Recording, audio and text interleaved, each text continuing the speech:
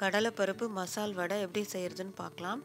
ஈவினிங்கில் டீயோடு சாப்பிட்டா ரொம்ப நல்லாயிருக்கும். அதுக்கு ஒரு கப் கடலைப்பருப்பு எடுத்துக்கோங்க. நாலு மணி நேரம் நல்லா ஊற வைங்க. அப்போ தான் வடை வந்து மொறு மொறுன்னு இருக்கும்.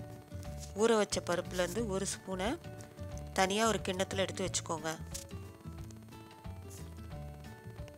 அரை ஸ்பூன் பெருஞ்சீரகம்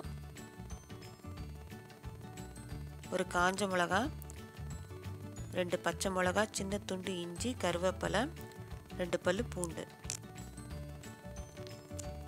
மிக்சியில் பருப்பு போட்டுருங்க. கொஞ்சம் தண்ணி ஊற்றினா போதும்.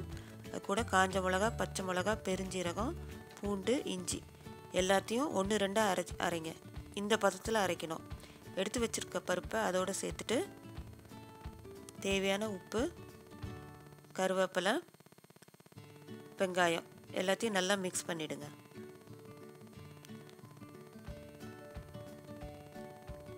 எண்ணெய் சூடாயிடுச்சான்னு பார்ப்போம் எண்ணெய் நல்லா சூடாயிடுச்சு. இப்போ கையில் மாவை இப்படி உருண்டையாக உருட்டி இந்த உள்ளங்கையில் இப்படி ரவுண்டாக தட்டி ஒன்று ஒன்றா எண்ணெயில் போடுங்க.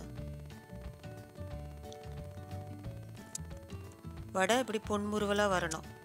வந்த பிறகு எண்ணெயிலேருந்து ஒவ்வொரு வடையாக எடுத்துருங்க.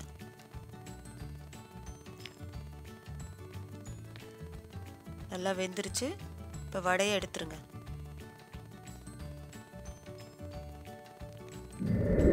சுவையான மசால் வடை ரெடி ஆயிடுச்சு. மசாலா டீயோடு சாப்பிட்டா ரொம்ப நல்லாயிருக்கும் அந்த வீடியோவை நான் அப்லோட் பண்ணியிருக்கேன். போய் செக் பண்ணி பாருங்கள்